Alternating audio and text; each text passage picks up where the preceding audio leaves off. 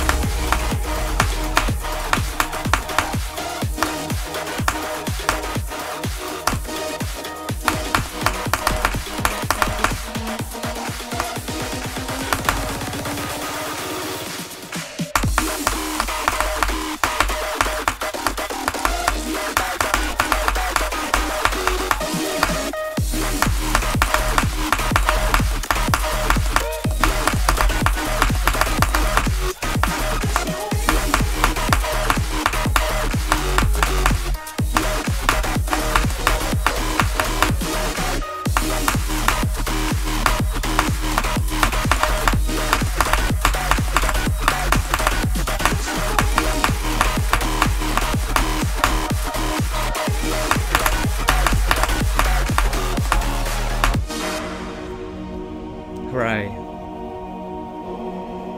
I beat Glow Slop number 17,352. This level has no reason to exist.